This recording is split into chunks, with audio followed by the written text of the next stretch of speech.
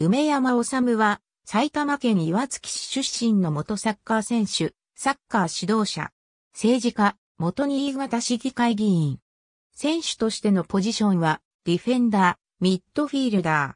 リーグラス株式会社所属。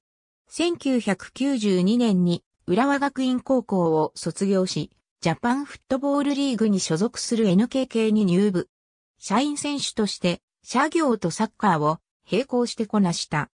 しかし、同部は1993年をもって廃部となったため、1994年より同じく JFL の中央防犯に移籍し、プロ契約を結んだ。1995年にはベストイレブンに入る活躍でリーグ優勝を達成し、J リーグへの昇格を果たした。1998年、NK 経済赤字に指導を受けた倉俣久夫の口利きで、倉俣がヘッドコーチを務める JFL 東京ガスフットボールクラブに移籍。豊富な運動量とスピードに乗った攻撃参加で右 SB のレギュラーとして定着し、J1 昇格に貢献した。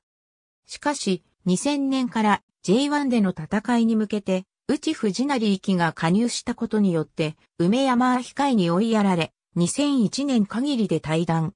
2002年より J に湘南ベルマーレへ移籍した。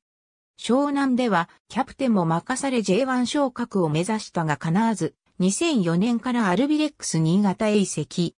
2006年シーズンを最後に現役を引退。公式戦での得点はなく、J リーグにおいて無得点である選手の中では最多の出場試合数を記録した。2008年度よりアマチュア選手として AS、ジャミネーロに所属し、なおもプレーを続けた。2014年、A 級ジェネラルコーチライセンス取得。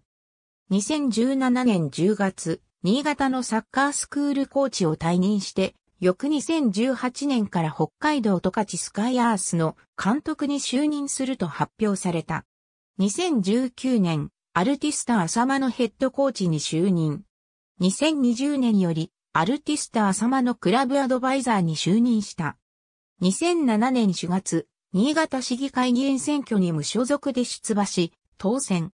2011年再選したが、2015年の第18回統一地方選挙で落選した。